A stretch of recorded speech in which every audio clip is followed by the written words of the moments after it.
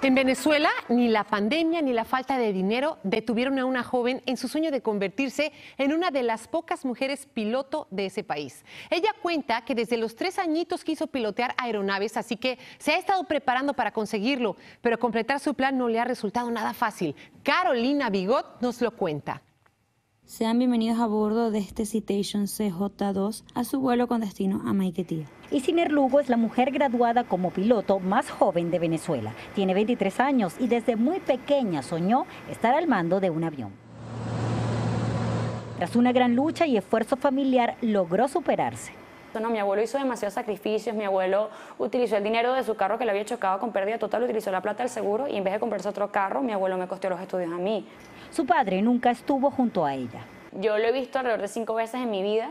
No le tengo ningún tipo de rencor, pero tampoco puedo verlo y decirle, hola papá, bendición. Era la única mujer en su curso, pero eso no la limitó ni con instructores ni compañeros. Me exigía mucho, él me exigía hasta más que a los muchachos, porque eso mismo, él decía, tú tienes que demostrar que tú puedes. En varias oportunidades, la falta de dinero retrasó su plan.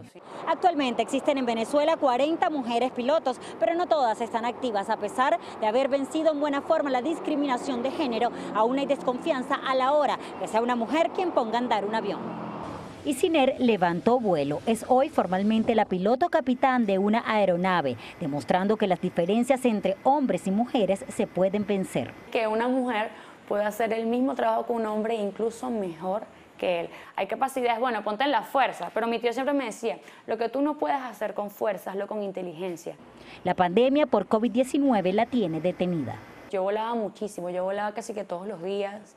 Este, y fue como que pausa.